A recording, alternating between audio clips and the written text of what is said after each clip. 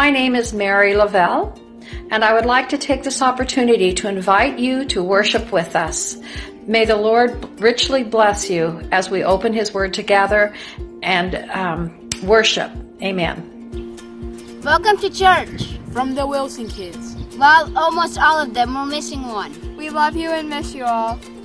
Hello, church. Welcome to church on video. This is Fred and Linda Fowler. Welcome aboard.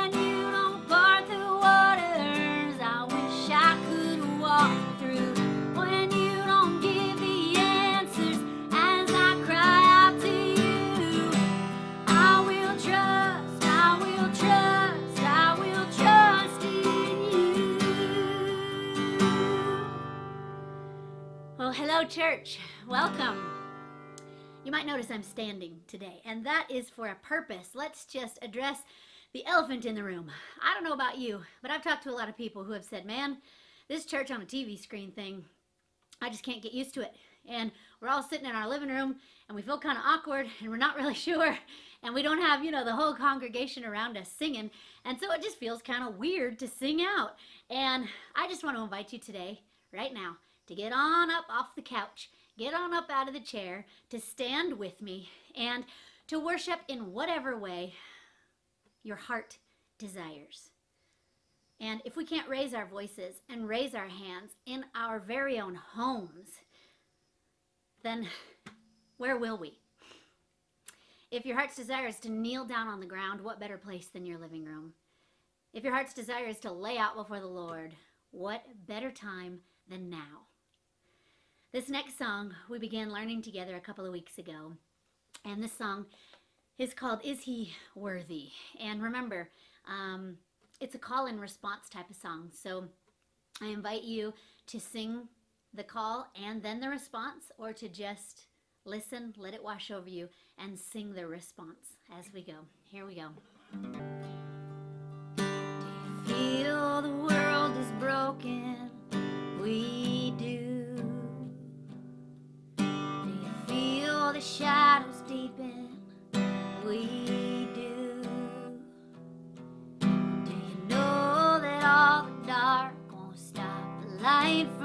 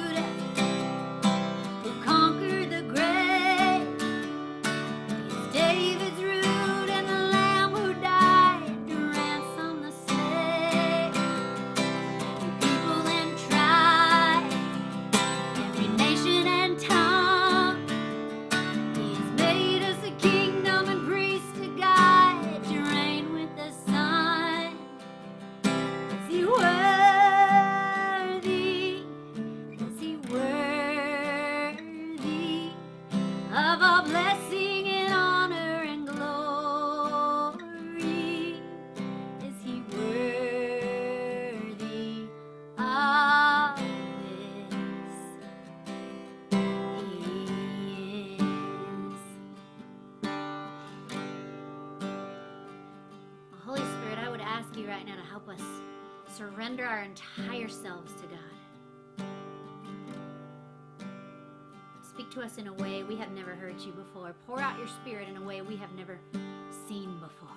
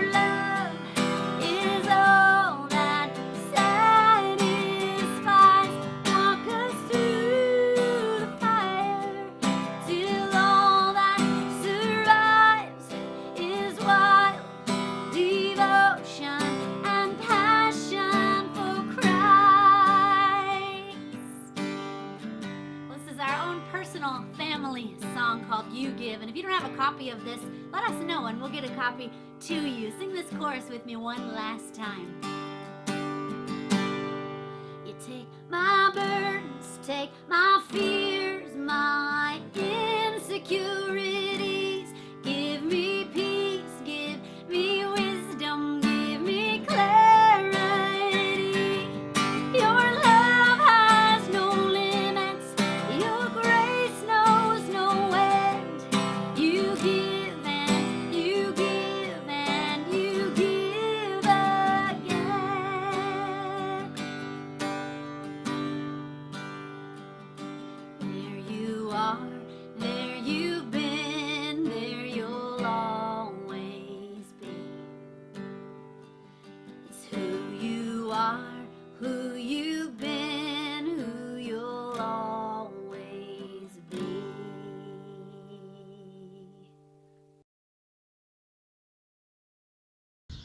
Hello, good morning, everyone. My name is Mac. I'm the youth pastor at the Tonasket Free Methodist Church, and I want to welcome you uh, to the Tonasket Free Methodist Church. Uh, kids, you know, every week we like to pause um, and do something for you. So this week we want to welcome you to, to To Kids Church. So, uh, welcome. Hey, Pastor Ryan's going to talk about a story. Um, and so I'm going to do two things. I'm going to tell you a story, but I also want to give you a gardening lesson. That's kind of weird, right? Well, it's springtime. We like to be outside, and everyone's been planting. I'm guessing most of you have probably planted something, but we have a couple flowers that uh, that we are going to plant, and these guys are going to help me. Okay? Come on. So, Pastor Ryan is going to talk about a parable. A parable is a story. Come over here.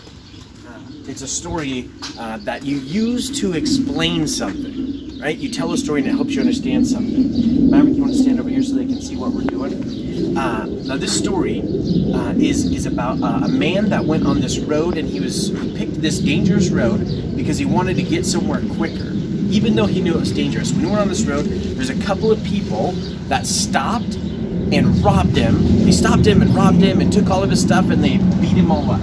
They said he was half dead. That means you're not doing too well. Does that sound good or bad? Bad. That's not good. So they leave him half dead and he's laying there. And these two men walk by. One walks by, he walks by and he sees this man and he just like goes, I'm not dealing with him. That guy's probably not wearing much. He's beat up and bloody. That seems like it's really messy and I don't want to deal with him. And he keeps walking by. And the next guy comes by and he does the exact same thing. He walks by and there's this guy on the side of the road who got beat up. He's got nothing. That seems like a like a big mess to deal with. I'm gonna walk right by it. This last guy walks by on this road and he's called the Samaritan. That's actually the name of the parable. The story that Jesus tells is called the Good Samaritan. See, he walks by and what he does is he sees this guy laying in the ditch, beat up, bloody, has nothing. He realizes he's not doing too well and he goes, You know what? I'm going to take care of him because my heart hurts for him. I'm going to show love to this man. So what he does is he goes and he he fixes him up and he he cleans him up, gives him clothes, takes him to an inn and pays for the man to stay there so he can recover. He does something that the other two wouldn't. He showed compassion for him. That means he cared for this man. But here's the cool thing. by doing this, he he's doing what Jesus is telling us we should do.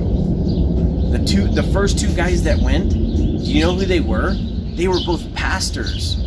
They're called it, one of them was called a Levite. It's a person that works in a church, kind of like I do.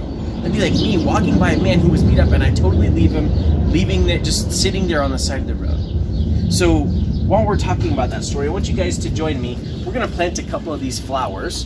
Uh, we picked out a couple of spots. Finn, will you hand me that shovel? Now, I don't know if you guys have ever planted a flower before, but it's really not very hard. Pick this spot out. We're hoping it will fill this area in. Maverick, you want to take care of the watering. When you plant a flower, you got to kind of mess with the roots a little bit, tear the bottom off, otherwise they'll be root bound. And this one's not very deep. We're gonna plant right here. Does that look like a good spot, guys? Yeah. Should have done this hole already. It'd have been easier. Okay, there's our spot. Now, the way you know you go deep enough is if the dirt goes all the way up and matches right where it is now. Check, is that deep or is that good or too deep? It's too deep. That's too deep. Add a little bit of dirt. Yep. There we go. How about that? That's good. good. Okay, That's good. you guys help me pack this dirt in around it. Break this dirt up. You want to be careful when you're holding your flower. You don't want to squish it, otherwise it won't make it. Pack this dirt in around.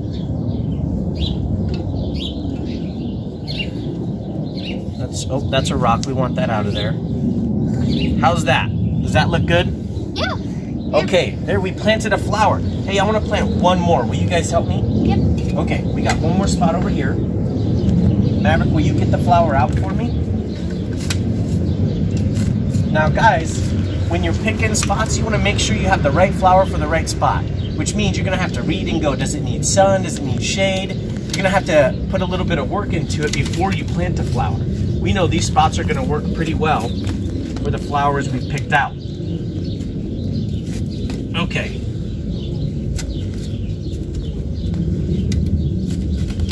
There we go. Okay, where's my flower? Okay, Finn, you want to do what I did and pinch off the bottom and get the roots ready? Yep. Are we planting this? No, we're not planting that one. That one's gonna go somewhere else. Pinch off the bottom. A little bit more. You want to pinch the whole bottom off. Just like that. Get rid of all those roots. Okay, now that we've done our gardening lesson, let's talk about this. So was this, I mean, this wasn't very hard, right? Mm-hmm. It took a little bit of work. Hey, that spot I dug up had a worm in it. Every boy on here is probably going, give me the worm. Yeah, Maverick says, can I have it? So we plant this in here. Go ahead and make sure it's standing upright. There we go. So we took time. We planted these two flowers. Right? They're going to be beautiful flowers. Hopefully they'll grow and they'll fill in this area. They're called impatiens if any of you like these. Now they're supposed to get pretty tall too. So they're going to grow and they're going to get real big. But you know what? It wasn't very hard. We had to work at it. But look, I got all messy. Now, just like that story I was talking about with the, the parable of the Good Samaritan, it would have been easy to go, nah, these spots are empty, there's nothing there. It looks messy for me to deal with it. And we could have passed right by and just left it just like this. It would have it would have done I would have gotten nothing from it, but it also wouldn't cause me any trouble. But like the Good Samaritan, if we put a little bit of work in, it's gonna cause us to get messy. We can uh, we can put this these flowers in. We can love people like Jesus is telling us to, and there will be something great that grows from it. Here's the interesting thing: that Samaritan didn't know that man at all. He didn't know him. He was a stranger. But that same kind of love needs to be done with our our mom and our dad and our brothers and sisters and our grandparents. It's not just strangers. It almost seems like it might be easier to help a stranger than our parents who are always yelling at us because we keep doing the same thing, or our brother who keeps irritating us because he's wearing my clothes. You can fill in the blank. But here's the thing if we're going to love like Jesus wants us to, it's going to cause us to get messy. Hey, thanks for joining in. I want you guys to really listen to Pastor Ryan this morning as he preaches on what it means to love the way Jesus wants us to. Can you guys say bye? Bye. Bye. Good morning, friends. It is so good to be in your home this morning. You know, some of you I know are interested in where we are uh, uh, speaking from every Sunday, and some of you know this location. But as you can see, there's uh, a lot of commotion and traffic and loud noises around me, and I don't even know if you can hear me right now. But that's life, and that's exactly what life is like right now with so many different voices and noises around us that we just have to sort through and submit to Jesus. You know, my prayer every Sunday and actually every day of the week, I want you to know that I'm praying for you, has been based out of Colossians chapter 2, verse 7 where I pray for you, the church, that you would be rooted in Christ, strengthened in the faith, overflowing with thankfulness. And what an important time in our uh, world today where we are rooted in Christ and strengthened in the faith. You know, these past two Sundays, I've told you that we are in a new sermon series called Rooted. And one of the constant themes through that has been you can't be spiritually mature while remaining emotionally immature at the same time. One of my friends this week uh, told me of a story of a friend who traveled to Asia and he was at a market and he picked up a piece of blown glass that was a beautiful uh, piece of art. But his friend said, Hey, don't buy that. Do not buy that. It'll be a waste of money. And the friend said, Well, why? It looks beautiful to me. He said, Yes, but hold it up to the light. Because once you hold it up to the light, it, it will reveal all of the cracks in it because that blown glass has been pieced together. And you know, I wonder uh, during this time that we are in, I wonder if Jesus would ask us, well, I know He does, ask us to hold up our lives to Him and to say, Jesus, would you reveal any area in my life where I am just emotionally immature, where I am just stuck in some pain or some baggage in my life to where I just can't move forward in life. Or perhaps Jesus would ask some of us to say, Would you hold up to me what you, what you really value, what you think is of value? And would you submit that to me where I can speak truth into your life? You know, uh, the first Sunday of our series, we talked about King Saul and how he was dominated by fear and he sought the approval of men, and that really had uh, consequences for him. He lost his kingdom because of that. He did not pay attention to what was going on underneath the surface of his life. Last Sunday, we talked about David and how David actually did pay attention to what was going on in his life. He was confident in, who, in his identity and who he was in Christ. He paid attention. You know, there might be some of us who would say, you know what, I love God. But deep down in our lives, there are some areas where we are just immature about some things. You know, take a guy like Tom. I'm not talking about anyone who's listening, of course. This is just an illustration. But Tom had been a Christian for 31 years. He loved God, he went to church, he did all this Christian stuff. But one day his friend invites him to go, let's say, fishing or hunting. But then at the last minute, his, his friend cancels on him. Tom then sits at home and he begins to stew and why his friend canceled on him. Why did he do this? You see, what you don't know about Tom's life is that he grew up in a home where uh, people always canceled on him, where he was abandoned time and time again.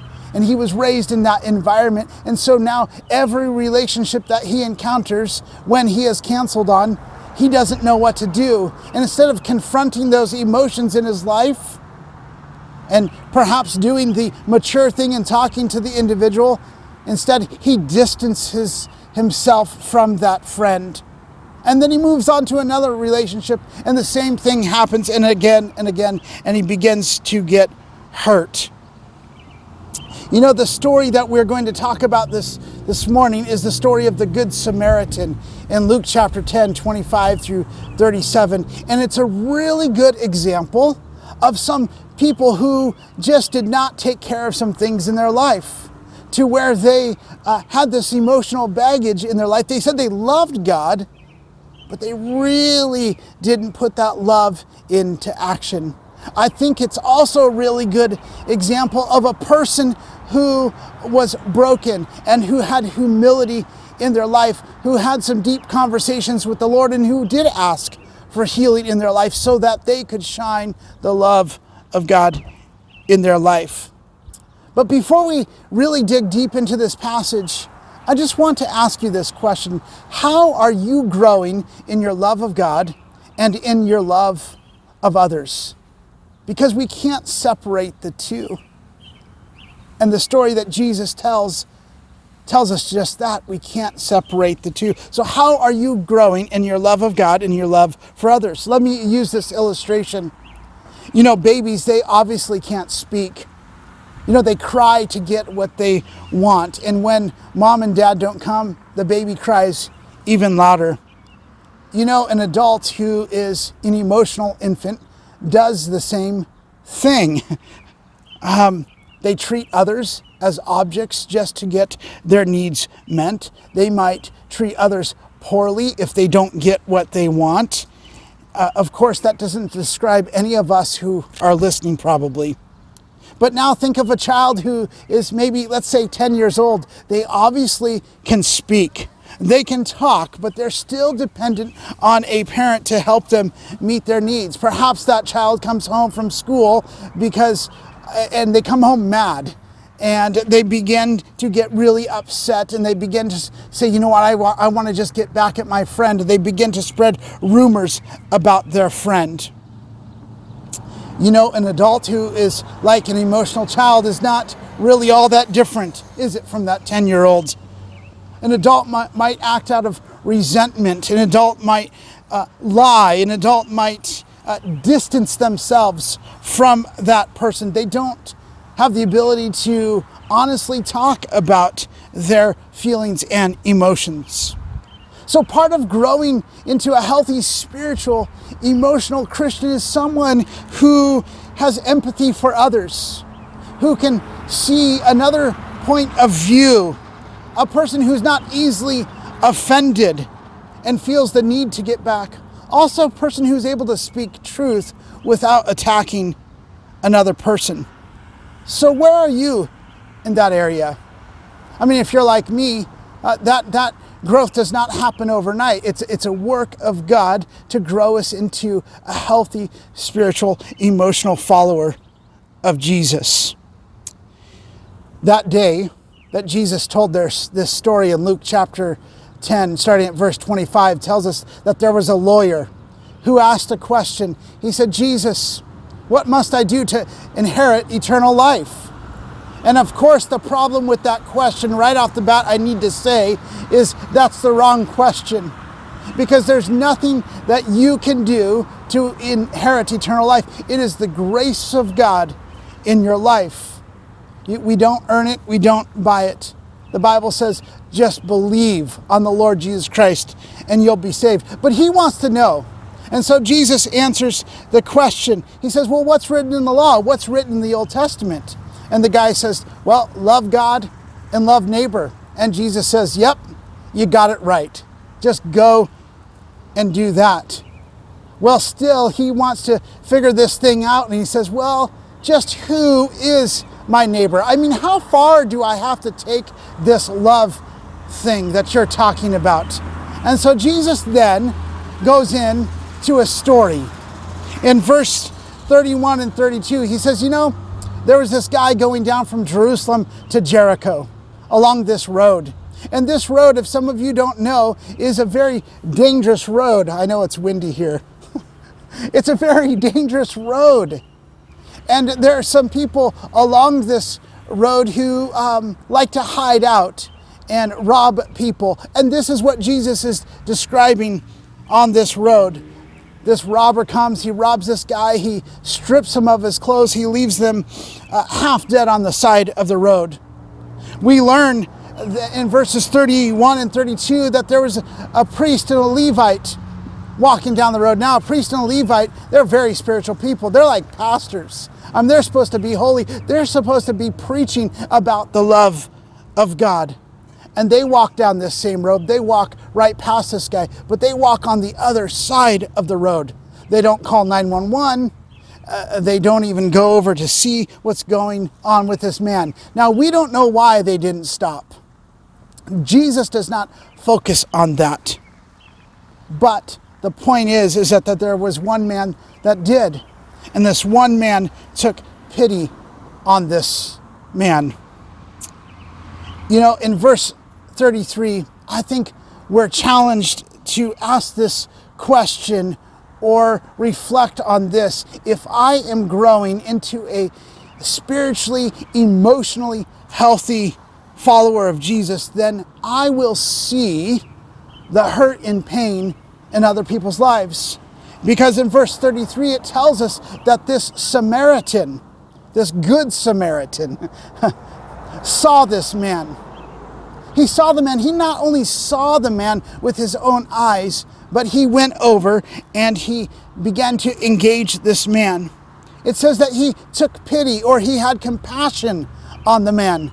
This word compassion actually means like this gut level response. You know, after you've ate some bad pizza or something bad, you, your stomach might be upset and you feel this like thing in your gut. This is the kind of compassion that Jesus is talking about. It's the same kind of compassion Jesus had on people when he saw the multitudes or when he saw people who were harassed and helpless. He had compassion on him. That's the same kind of passion that this Samaritan had on this guy. And the shocking thing is, is that this man is a Samaritan, possibly helping out a Jew. Jews and Samaritans, they hated each other. There was bad blood between the two of them. They had different political views. Uh, they, they probably had a different view about COVID 19. They had different religious views. They were of a different race. They did not get along. And I'm sure as Jesus is telling this story to this lawyer and those who were standing around, this would have been shocking to them.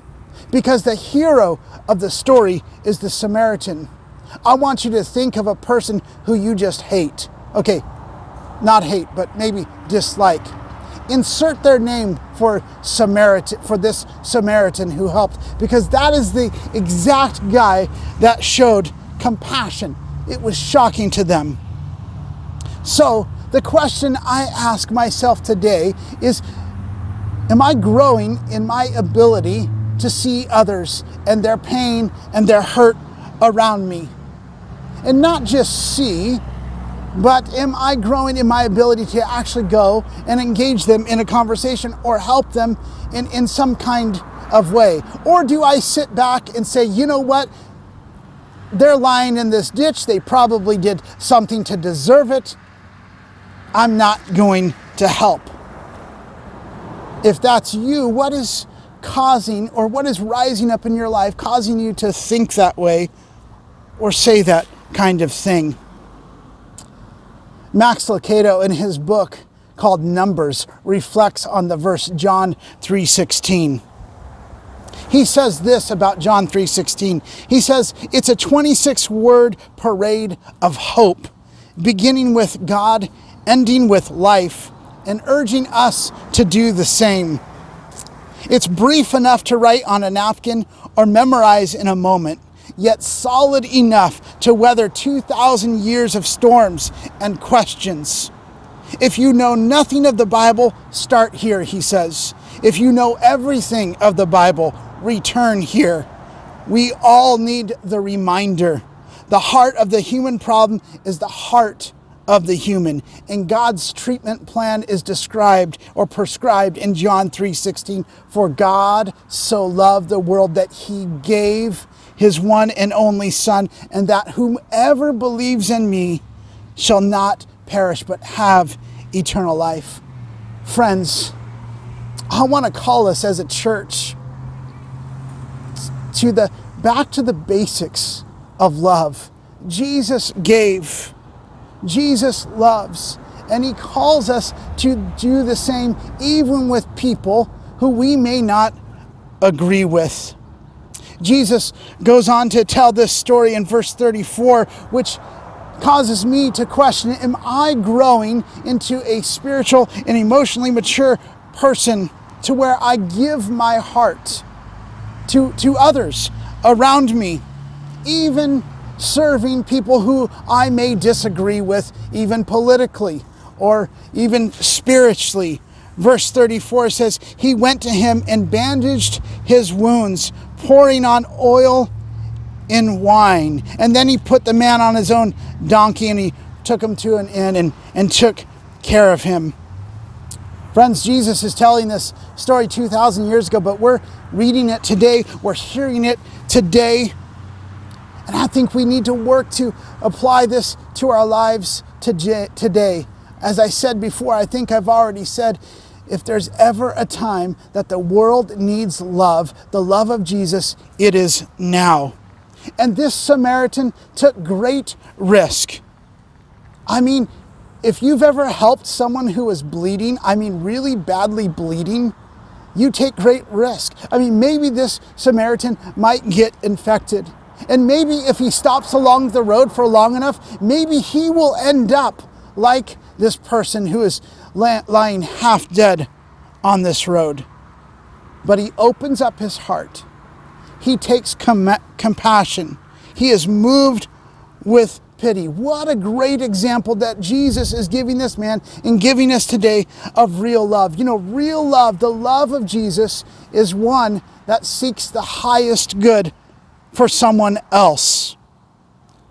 Even when there's different political views, even when there's different religious views, even when you don't maybe approve of what someone is doing, Jesus calls us to love.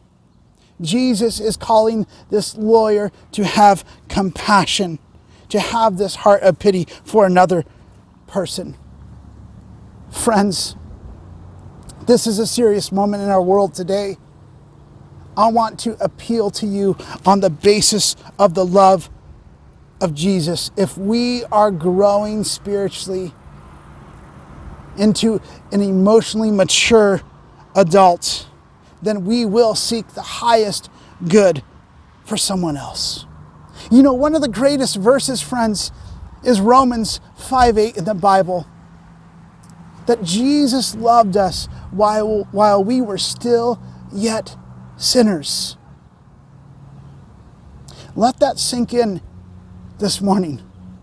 That Jesus loved us while we were still yet sinners. And so if I'm growing spiritually and into this emotionally mature adult, then I am going to be willing at times to lay down my rights. Now, I'm not saying give up all of our rights because I think in Scripture there's, there's, there's Scripture about uh, where people actually took up their rights. But what I am saying is if my rights are getting in the way of my witness for Christ, I've got to lay those down. If my rights are getting in the way of someone else experiencing the love of Jesus in me, I've got to give those up. I'm reminded of my wife, uh, who does a very good job of that all the time uh, for me and for our family. But I'm reminded of a time of my wife when we lived in Malawi, Africa. There in the country of Malawi, um, is they're, they're very conservative. And uh, it was frowned upon for women not to wear uh, pants.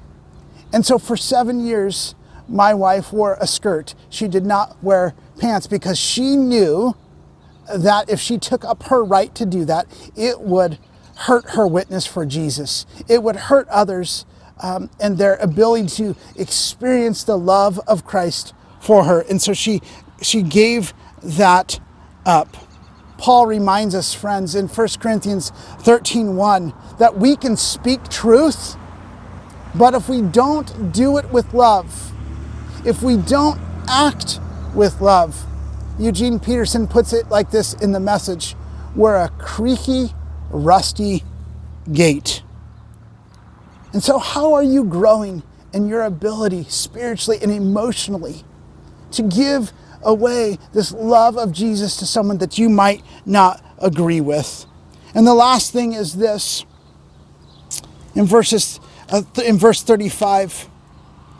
I know that when I am growing emotionally and spiritually, that I'm able to open up my hands to another person's needs. It says this in verse 35 the next day he took out two denarii and gave them to the innkeeper. Look after him, he said, and when I return, I will reimburse you for any extra expense you may have.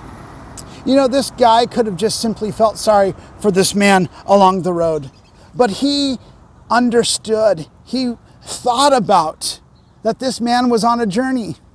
And now he's fallen into this mess and he needed help.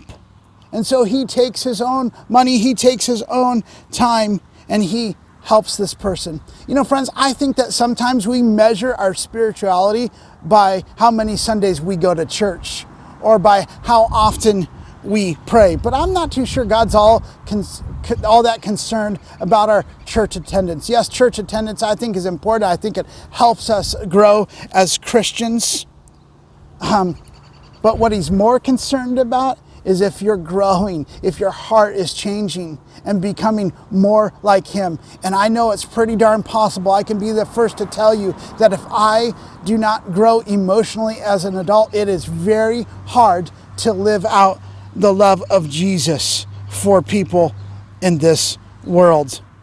So Jesus ends this story here, friends he asks a question to the lawyer. He says, "So which one of uh, which one of these three do you think was a neighbor to this man who was on the side of the road?"